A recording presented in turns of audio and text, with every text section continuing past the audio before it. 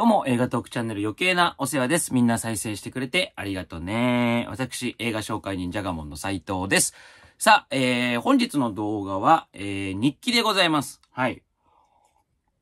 ビデオ日記ということでございまして、えー、先週からね、急に始めさせていただきまして、まあ、1回目はあの、メガホン二郎の、えー公開収録の時のシネマンションの、えー、3人でですね、楽屋の様子を、えー、ビデオに収めて、配信しまして。で、その次は、えーテレビ埼玉さんでね、あの、こうもう2、3年ぐらいかな、あの、待ち込みという番組で、あの、私、えージャガモノの傑作劇場というですね、あの、映画を紹介する生放送の番組をさせていただいてるんですけども、えーその楽屋で、えー、スガヒとかね、ムッチリとか、あのー女子アナのお二人と、えー、お話をさせていただきました。あのーまあ、最近、まあね、その、えー、知ってる人はって感じだと思うんですけども、あのー再開をしまして余計なお世話ね。えー、突然再開をしまして、えー、まあ、いろいろ始めてんですけども、まあ、やっぱなるべくね、その毎日なんか動画上げてみるみたいなことやってみようかな。毎日更新みたいなことやってみようかなって思ってですね、あのーまあ、人でも足りてないですし、そのなんか編集もね、ちょっと僕がやってないので、あのーお願いしてるんですけど、やっぱね、追いつかないですね。溜まっちゃいますね、動画がね。なんでまあ、その、映画立ち話っていうね、僕がもう本当ノー編集でこう映画の感想を言うのもあげましたし、まあ、その隙間にね、このビデオ日記みたいなのを、まあ、つぶやきですよ。ぼやきを、あのー載せられればな、なんて思ってるんで、皆さんも真に受けずというかね。あのーまあ、興味がある方は、聞いていただければな、なんていう感じでございます。で、一応あの、今後、そうですね、余計なお世話ととしては、あのえっ、と、貞子 DX ネタバレありの、まあ考察というか解説というか、あのー話をしてます。まあちょっとだいぶ経っちゃってるんで、まあ見た方、貞子 DX 見た方、えー、見ても、まあでも内容的にどうなんだろう。まあ、まあそっか、見た方か。見た方で、本編見た方、映画見た方で見てもらえたらいいかななんて思ってますし、あとあのドクターコトー診療所っていうね、12月16日から公開される映画。あれのあの、まあ、ドラマがもともと2000年初頭にありまして、まあ、その、えーっと、まあ、事前予習というか、僕の気持ちトロみたいなね、動画と、えー、あと山田先生、あの、原作者のドクターコトーの山田先生の、えー、山田先生に来ていただいて、まあ来ていただいたが、向こうのアトリエにお邪魔しまして、えー、ドクターコトーの話をいろいろ聞いてるという、まあ3本、4本か合計ね。はい。は、もういずれどっかで出てきます。で、他にもあの、ちょっといろいろ、あのやろうとしてることはあるので、まあというのも、やっぱ年内ね、こう2万人、登録者2万人、やっぱ行きたいなと。あの年内にこうでかくね、こう結果をバーンと、ぶち上げてですね、ちょっとなんか掃除機映ってて、なんか嫌ですね。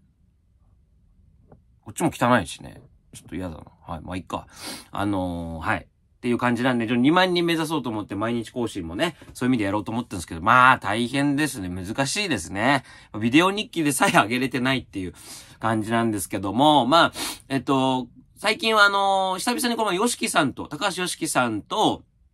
あの、飲みに行かせてもらって、で、まあ、いろいろ最近の話とか、久々だった何ヶ月ぶりとかだったんで、あの、いろんな話もして、で、あの、コラボもしましょうみたいなね、話とかもしましたんで、まあ、えー、ぜひ楽しみにしていただけたらなと思ったりとか、えー、まあ、あとあの、ベイビーアルキューレの伊沢沙織さんと、あのー新聞芸座、池袋の新聞芸座で、バスター・キートン特集。はい。しかもこれ、活弁の、活弁士の方がついてる特集ということを言きました。これもともとあの、坂本優吾監督とかとみんなで、あの行こうと思ってたんですけど、監督がね、あの、お寝坊してしまいまして、はい。で、あの、二人で行くという、あの、展開になってですね、あの、非常に、あの楽しい回でございました。はい。まあ、そうですね。あとはまあ、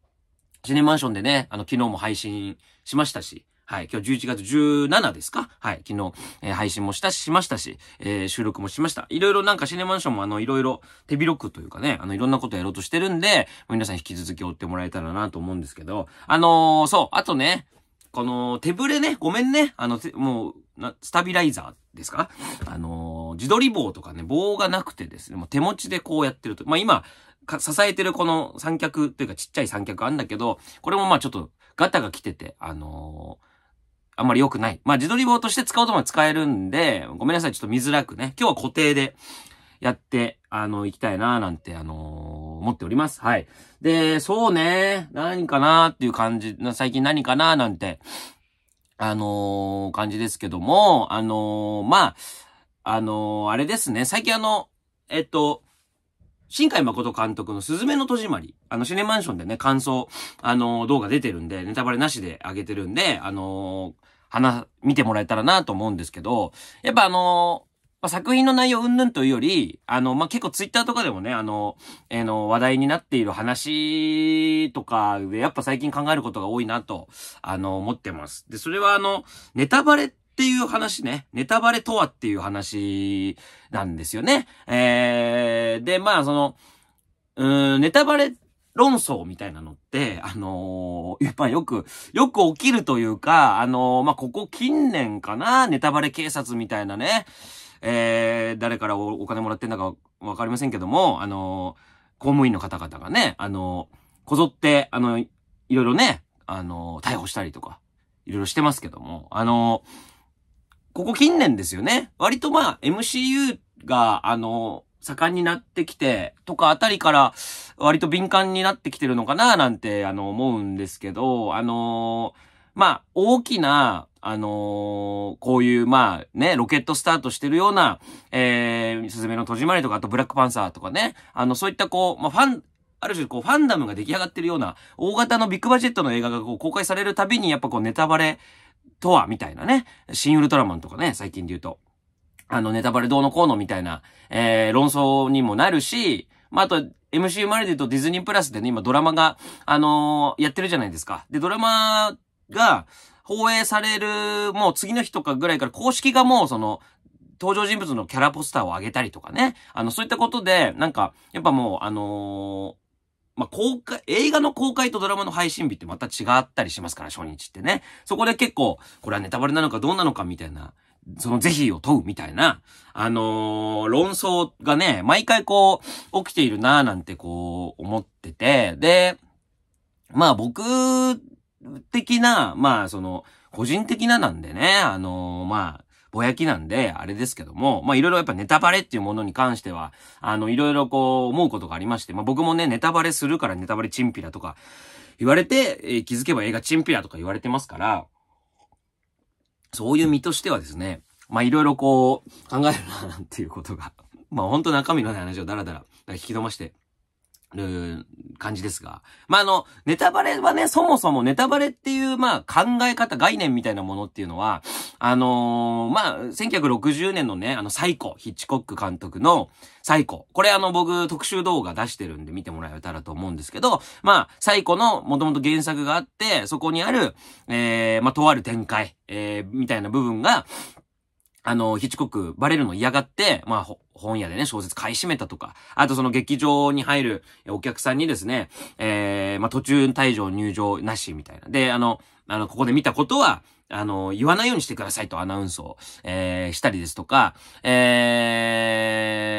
ー、まあ、そもそも予告編、最古の当時の予告編っていうのは、えー、セットの中でヒッチコックが語るだけっていうね、あのーまあ、ヒッチコックだからこそできたことですけども、あのーそういったものが、まあ、最初と言っていいんじゃないかなと。えー、要するにその、公開当時に制作者側が、えー、誰にも言わないでねっていうような、まあ、お約束をみんなにした、みたいな。で、それでこうみんなウキウキしたし、まあ、実際最高ヒットしたしっていうような、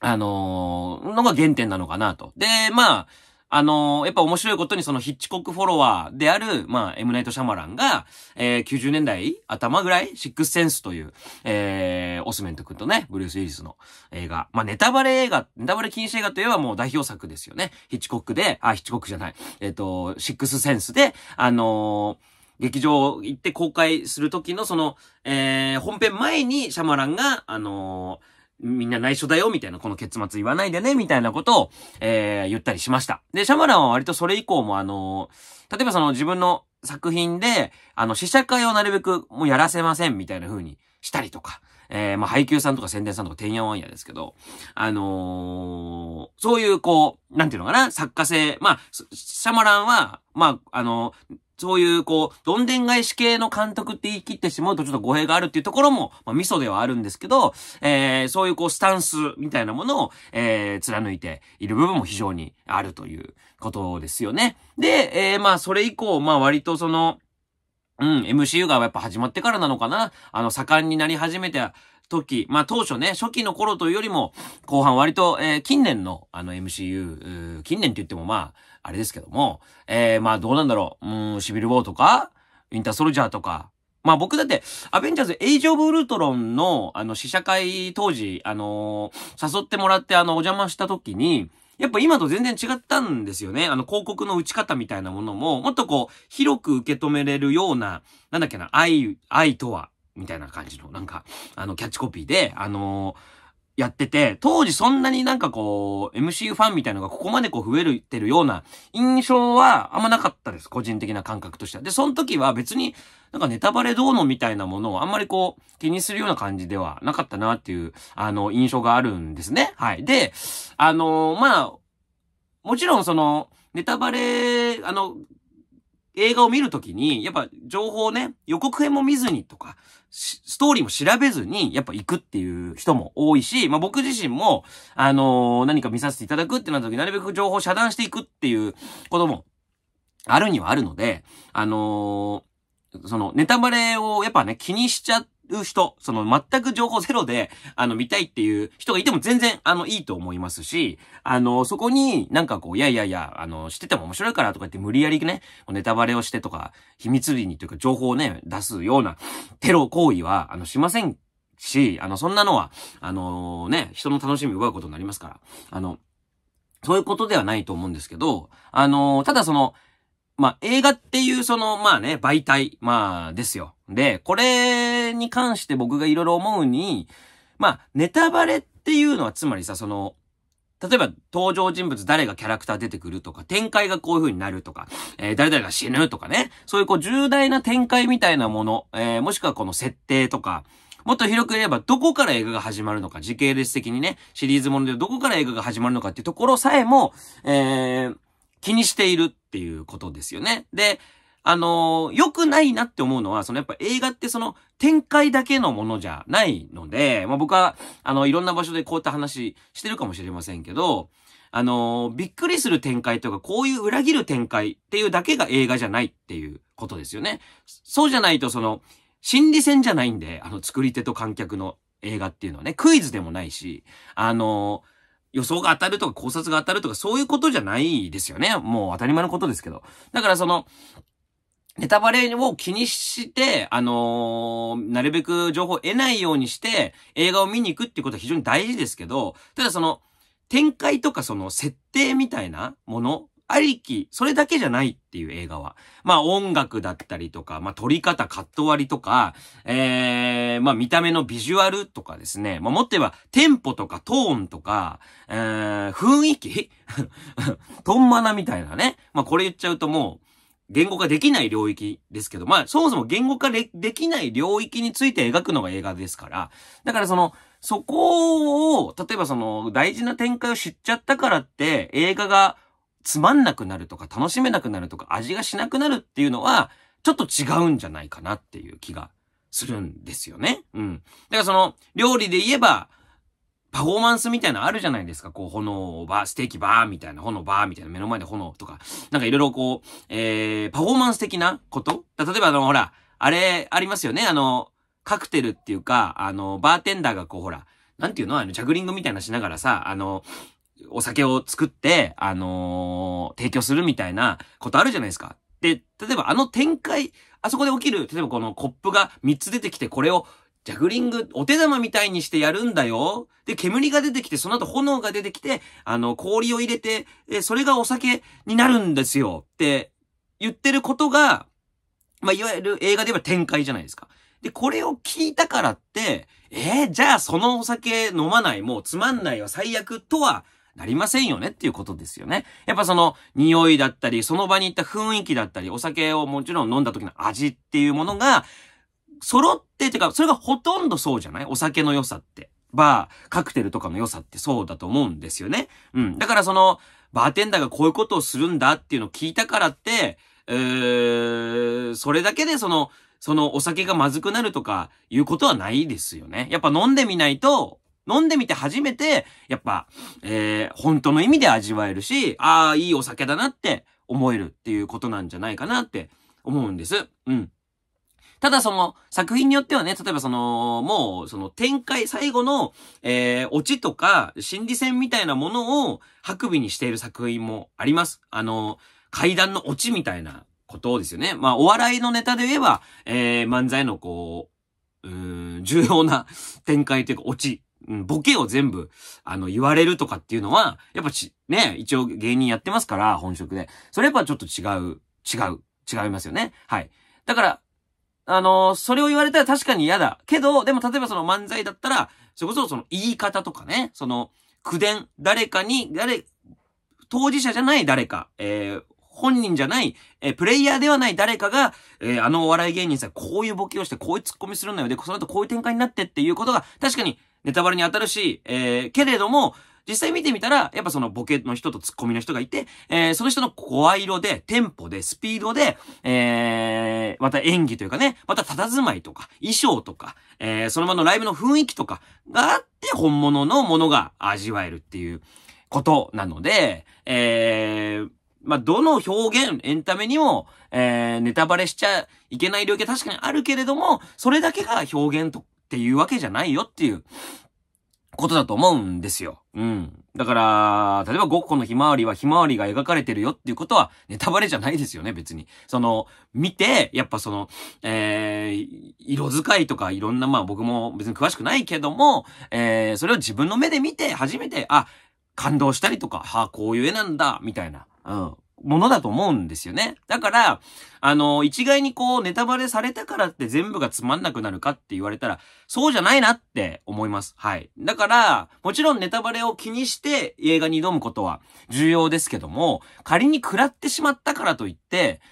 そんなに怒んないでよっていうところは正直あります。あのー、ね、うん。だからそこはこう、うまく、あのー、付き合っていかなきゃいけないんじゃないかななんて思うんですね。はい。で、あのー、今回の、あのー、すずめの戸締まり？新海誠監督のね、あの、もう、ちょっとその、まあ、いろいろ言われてます。で、これ、やっぱ最近今年だと、ザ・バットマンの時にね、あのー、もうありました。はい。あの、要は、本、映画本編にこういう場面がありますよと。で、えー、注意喚起として、えー、発信すべきなのかどうか、みたいな、えー、話が当時ありました。で、今回も、すずめの戸締まりで、い、いわゆるその、こういう表現があるということを言うのか言わないのかみたいなね、それはネタバレに当たりするのかどうなのかっていう話ですよ。で、まあ、すずめの戸締まりに関しては一応公式がホームページでね、一応触れてんですよね。はい。ただ、やっぱその、ホームページ見るかねっていう話ですよね。あの、もちろんその映画好きだったり、新海誠さんのファンだったりとか、いろんな理由でこう、開く人はいます。ただ、やっぱその、この時代ね、やっぱその、一個の媒体に出したからってみんなが100%人がわかるか伝わるかって言われたらそんなことないし、まあ、そもそも、うーん、ね、発信することで全員100に伝わるのかって言われたら、そうじゃないから、だからその、我々みたいな映画の語り部と言われるね、広い意味で言われる人が、えー、発信していくことは、まあ、大事であ、ことであるなと思いますし、あの、個人的にはその、ネタバレじゃねえかって怒る人たちと、何も知らずにこの、すずめの戸締まりを見て、わってこう、トラウマが呼び返ってしまう人たちっていう、このどっち取るかって言われたら僕はやっぱ後者を取ってしまうなと。あのー、個人的にはやっぱ、あのー、思ってしまいます。どっちが大事かっていうね。うん、まあ、これも、こういう判断も、ね、あの、良くないのかもしれないけども、あのー、だったらやっぱこう、あ、言ってくれて、事前に言ってくれてよかったですっていう人の、え気持ちの方が、やっぱ僕はこう、守りたいし尊重にしたいなって、あの、どうしてもやっぱ、あの、思ってしまいます。あの、僕自身は別にその、その場にいたね、当事者でもないですけども、やっぱその、被害に直接会われて家族を亡くされたっていう方々のお話が、をよく聞いたり、その、身近にそういう人がいたりする分ですね、やっぱりこういうところは、あの、デリケートなのかなっていう気がしますし、あのー、また今回のその、すずめの戸締まりはね、あの、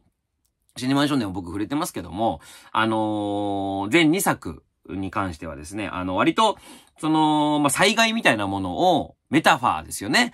えー、違う表現でやっぱ表現しましたし、えー、それで、えー、そこに立ち向かう一般的な主人公たちがどう感じてどう思ったのか、どう立ち向かうのかっていうところを、あの、しっかりやってたと。で、まあ、今回監督は直接的にやりたいっていうことだらしいので、あの、まあ、僕はね、あの、そこまでこう、調べてどうこうとか考察とかっていうわけじゃないんですけども、まあ、その、クリエイターというか作家の、あのー、そん、の主体、主張の尊重みたいなことは、あの、まあ、すべきではあると思います。はい。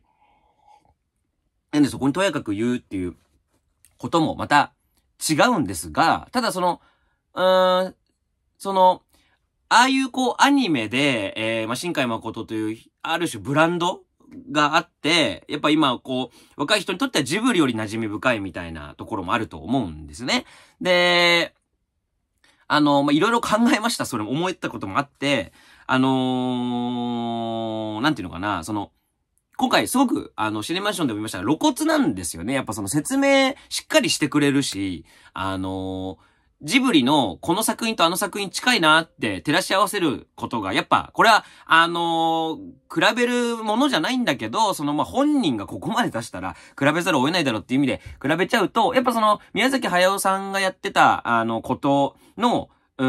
ん、説明不足というか、こちら側が汲み取ったりとかいろいろする余白ってことを考えると、かなりその余白を埋めてる、えー、ことに、新海誠さんをやっ、やってますよね。はい。で、あのー、それ、その延長が、今回のスズメの戸締まりで、えー、とある災害を直接的に表現したっていうことにも、あのー、繋がっていくのかなと思ってます。で、一応僕今さっきから、あの、直接的な表現、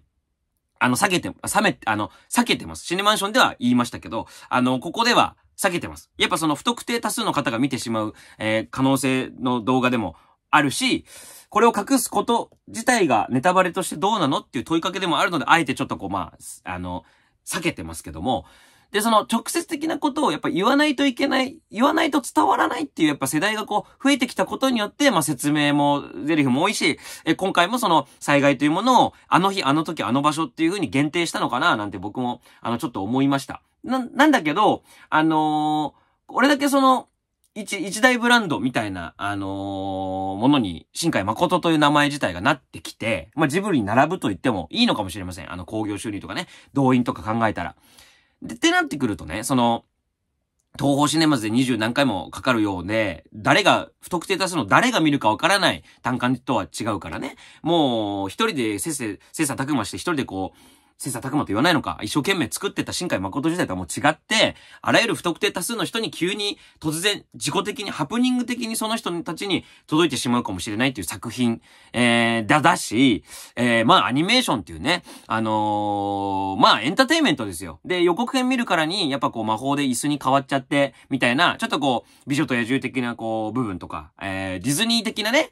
あの、展開もちょっと垣間見える、あのー、展開がすごくあるんですね、今回、スズメに関しては。っていう、一大、このエンターテイメントっていうか、ビッグバジェット、トまあ、ある種トップに立つような作品で、の表現として、えー、直接表現ってどうなのかなとは、僕は、あの、思ってしまったなって感じがします。あの、これだけこう、間口が広い映画をやっているのに、選ぶじゃん。やっぱり、この、後半の展開は、人をね。うん。やっぱこう嫌な思いしちゃう人もいるわけじゃない。で、やるんだったら、やっぱその、ポスターとか広告、宣伝で言うべきだったと思うんですよね。こういう映画ですよって。じゃ、じゃないと、うーんって思っちゃうかな。あの、それがやっぱ正々堂々とやることだなって思うし、おそらくその、この作品を作って制作して、この発表する段階で揉めたと思うんですよね。ここでどこまで言うべきなのかなこれも憶測なんであれですけど、どこまで、えー、予告、特報広告に、えー、こういう、災害を扱ってます。まあ、もっと具体的な言葉で伝えるべきなのかどうかっていうのは、多分会議になったと思うんですよ。でも、もしかしたらですよ、もしかしたらだけど、そうすると、人を選んじゃうからっていう理由で避けたのかな。うん。あの、今見る、ああ、なんか楽しそうな、ボーイ蜜があるものだな、えー、ファンタジーものだなって、白石工事節が入ってるなって、一般の人が思えるものにコーティングしてしまったのかなって僕は、あのー、ちょっと、邪念というかね、あの、良くない予想なのかもしんないけど、そういうこともあったのかな、もしかしたらってちょっとよぎってしまう。で、なんでかっていうと、それぐらい露骨に、あの、あの日、あの時、あの場所っていうのを、やっぱ強調していく、あの、作りに、あのー、なっていってるし、それを言う、誰かが、こう、公式じゃない誰かが言った時にネタバレだって言ってるってことは、やっぱりその、作品の展開としての重要な、こう、まあ、展開をこう、うん、激しいドライブをするために使っているその、まあ、アクセントというか、そこに、じ、実際のあの日、あの時、あの場所を当てはめるっていうこと自体がどうなのかなとちょっと考えて、あの、しまいました。まあ、僕の中でちょっと答えは出てないんだけど、あの、みんなどう思うかなっていう。やっぱり、その、じゃあ、その、どういうことなのっていうね。どういうことがいいのって、僕は思うに、やっぱ、ゴジラですよね。やっぱ54年のゴジラ、えー、だし、まあ、シンゴジラもそこだったし、やっぱその、えー、戦後とか、放射能、えー、3.11原発といった、えー、まあ、僕らが具体的に実際に、えー、リアルな世界で、生活で、えー、体験してしまった恐怖とか、不安みたいな、えー、ものを、やっぱゴジラっていうものに、えー、ゴジラという姿を借りてね、まあ、メタファーとかね、いう表現が、えー、一番ぽく聞こえるのかもしれないけど、やっぱ、それによって、やっぱこう、エンタメ、エンタメとして世の中に出しつつも、えー、僕たちは、うん、そこに、えー、言葉選ばずにと、楽しんでその映画を見て、乗っかってね、そこに乗っかって楽しんで映画を見て、えー、ってるという、まあ人間という生き物のこの矛盾みたいなものですよね。直近で、えー、感じていたあの時、あの場所のあの不安っていうものを、エンタメ、ゴジラというものでこう消化させていると。これがやっぱこの人類の矛盾というかね、人間の矛盾だし、あの、アメリカで言えば9.11みたいなものとか、えー、トランプの、えー、壁とかね、実際に作った壁、作ってしまった壁っていうものを、特にやっぱジャンル映画、ホラー映画とかにね、転換して、消化してね、やってますけど、やっぱそういうことを、あのー、することで、僕たちは割とその、社会問題を、うー、